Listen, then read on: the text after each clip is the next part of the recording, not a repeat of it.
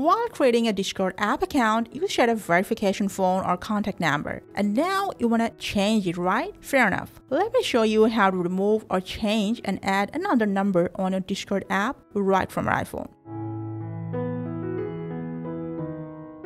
For that, while logging in, open the Discord app. From there, go to your profile, to settings, to account. Now there is your phone number that you want to remove or change. But please make sure to remove a phone number. You must have an email address associated to your Discord account.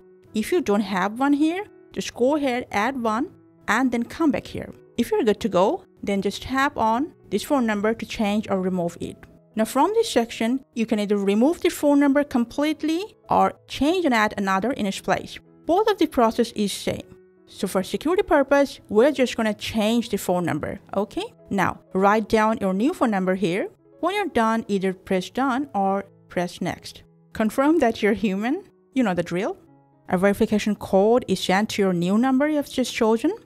After putting down the number carefully, just tap on verify put down your Discord password, and then just press done. Excellent. As you can see, your new phone number is added in here. And that's how you can change and add your Discord profile verification phone number right from your iPhone. Thanks for watching and take care.